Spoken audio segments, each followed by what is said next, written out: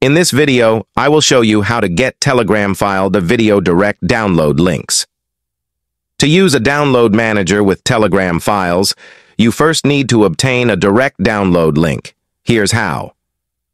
Open Telegram, mobile app, or desktop version. Search for at getpublic LinkBot, period. In the search bar, search for at getpublic LinkBot. Tap on the bot to open the chat. Click the Start button to activate the bot. Start Telegram file downloader bot. Forward the Telegram file you want to download to this bot. Forward the Telegram file you want to download to online Telegram file downloader bot. The bot will quickly respond with a direct download link for the file. Copy direct download link for the Telegram file. If for some reason the above bot doesn't work for you, can try its alternatives. Files to Link, Files to Link Pro, Files to Link Premium, or Get Public Link Bot. These bots also work fine, but not very efficiently.